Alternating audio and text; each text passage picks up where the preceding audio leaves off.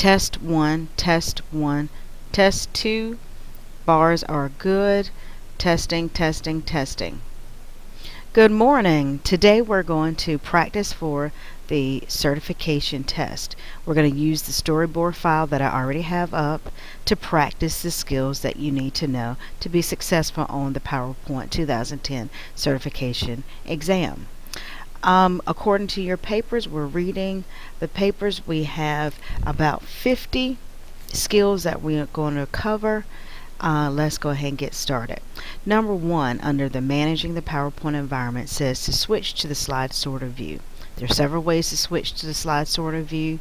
You can go to the View tab and go to the slide sorter view, or you could use this button here at your status bar and go to the slide sorter view. I want to be able to see my slides a little bit more, so I'm going to click Fit to Current Slide Window.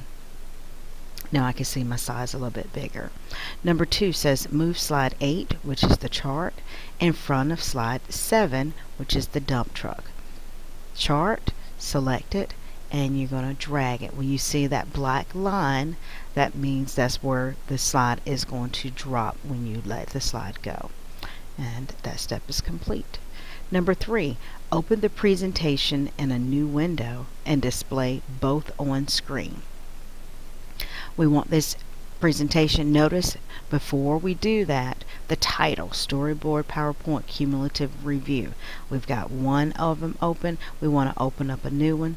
So also in the View tab, in the window grouping, click New Window. Now we have two versions of the same PowerPoint open, and you can tell because of the colon and the number 2 and the instructions wants us to display them both on the screen. So go to View tab and click Arrange All and now you have both presentations.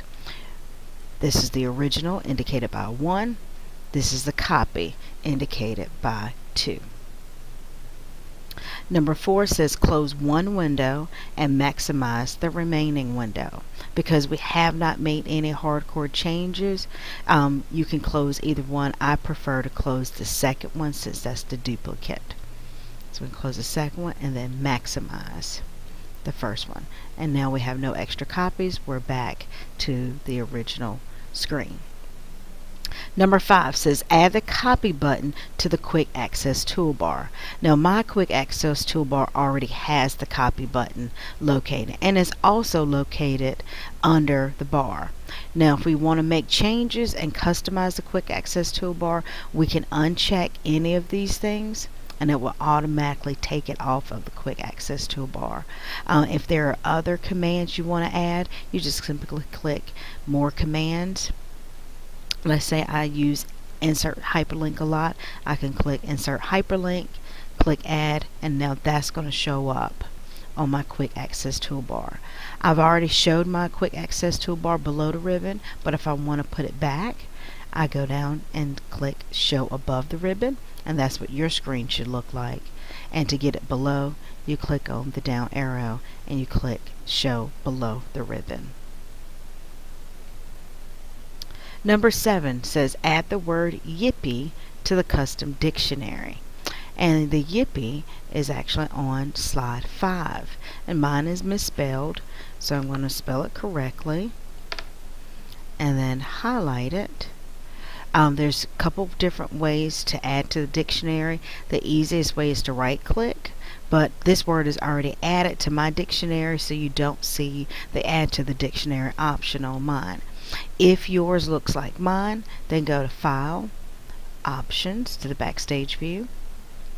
Under the Proofing tab, you've got the tab or the button for custom dictionaries, edit word list, and this is where you add words. So I could add, let's say I wanted to add yipe or um, sometimes it is hard to display last names so you can add any word that you want to add it customly to the dictionary. You can see where I've added my name and some other words that the computer was picking up as incorrect. Click OK, click OK, and click OK. And now it's added to the dictionary. Number 8 says set auto recover or to save to every 5 minutes. By default, your computer will uh, automatically save your presentations. If you want to alter how often it saves without you having to click the save button, you can do this by going to the backstage view, go to the PowerPoint options, under save, under save presentations where it's clicked save auto recover information. Mine is by default 10 minutes. We're going to change that to 5 and click OK. And that takes us through the first section managing the PowerPoint environment. The second section we're going to look at is creating a slide presentation. Number 9 says move the, to slide 9 so I'm just going to go down, move to slide 9. Insert a photo album. Use four pictures located in the sample pictures folder.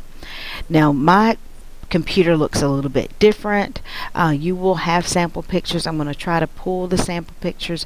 I'm going to go insert ribbon under the images grouping photo album new photo album insert picture from file or disk as you can see I don't have let me go and see if I can find sample pictures.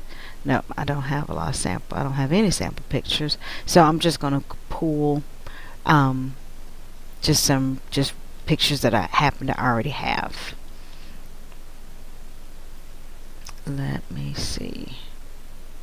I'll use these four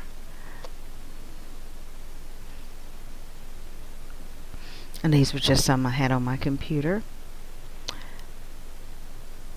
and number 10 says arrange the pictures in the following order. If you have the sample pictures, you can arrange it in the order of winter, blue hills, water lily, and sunset. Um, but because I had to pick random pictures, I can't do that. Just make sure you have them in some sort of order. It says put two pictures per slide with a simple white frame and include captions below each picture. So I'm going to include my captions if it's possible.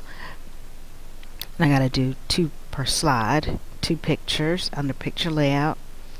Now I can add my captions. Under frame shape, it tells us simple white frame.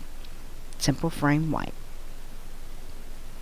And with, um, if there are any pictures that I chose, like this one, if I wanted to brighten it up, I could do so right here before I even finish my photo album.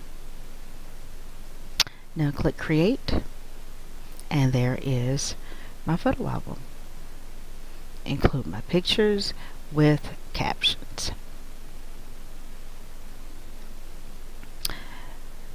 Number 11 says rotate the water lilies picture 90 degrees.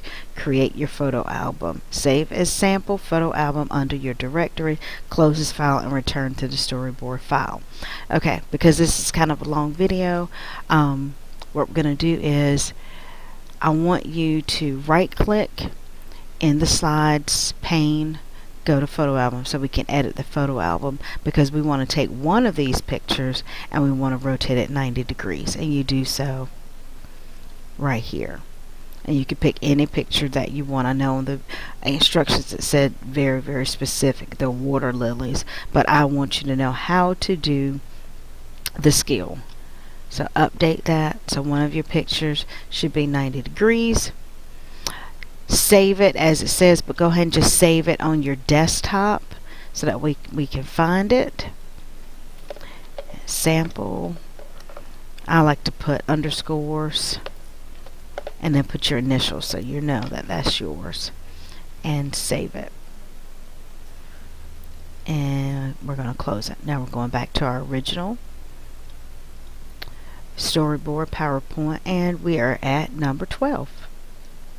Number 12, adjust the space page size to the custom size of 10 inches wide by 8 inches high.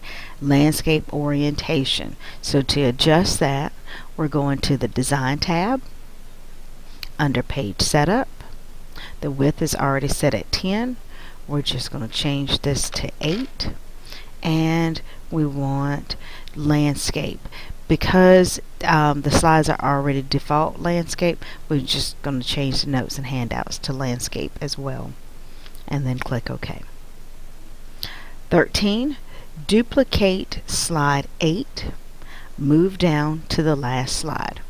So slide 8, and click on slide 8 and right click on it and we're going to duplicate it. So now we have two slides 8. And now move down to the last slide. Reuse the sample photo album slides you created in number 11. So this is where the photo album that we created comes in. Note, go to Home tab uh, under New Slide. This just gives you the instructions on how to do that.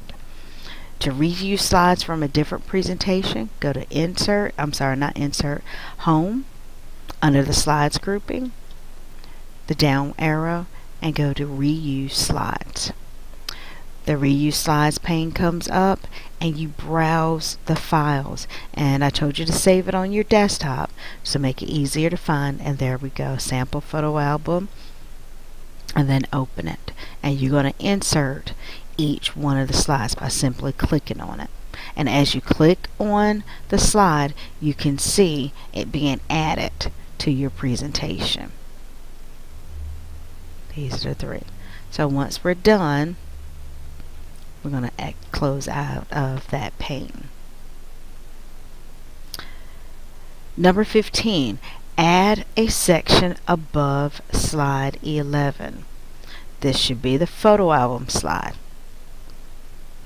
Name the section sample photo album. Okay, to do the section, let's go to slide sorter view and we want in the slides grouping under section click add section and now we've divided our PowerPoint in sections.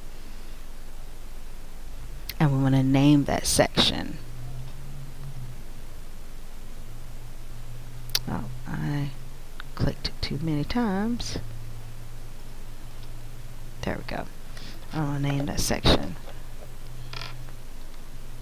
Rename section. Photo album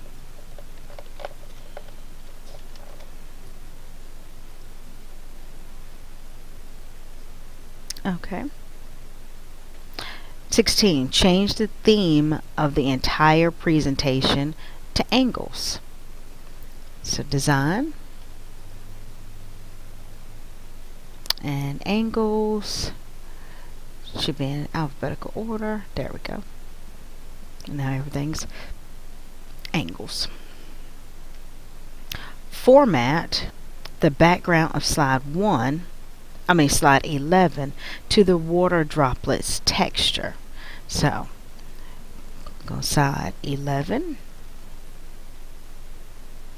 and we're going to change the background. So we're going to go into background grouping under background styles and we're going to format the background. And because it is a texture type of feel, I'm going to go to the water droplets. And we're only going to apply it to this, that one, so we don't click apply to all, just click close. And it's just to that one slide. 18 Insert a footer with your name and the slide number to appear on all the slides except the title slide. So now we're going to insert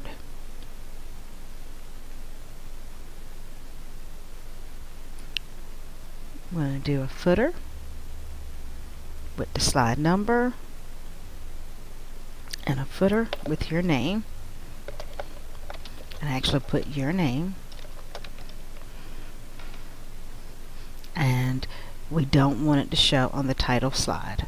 I'm going to do that to all the slides. So now we have to click apply to all. You can see all of the slides have that information.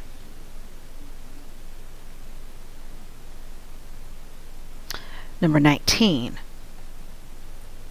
Move to slide 4 to animate, add a custom bullet to the line the text lines make bullet size 95% of the text.